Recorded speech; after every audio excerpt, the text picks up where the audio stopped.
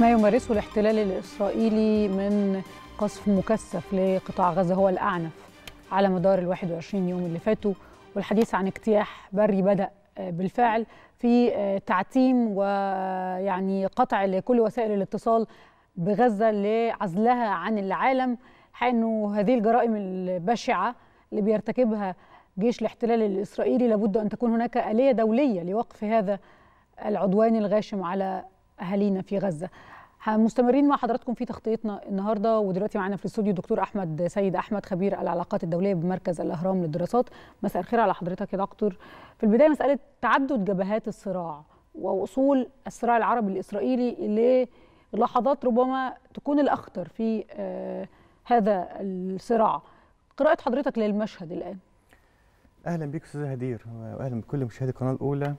يعني في الواقع يعني إحنا شفنا في السنين اللي فاتت يعني موجات كثيرة مواجهات دموية كثيرة.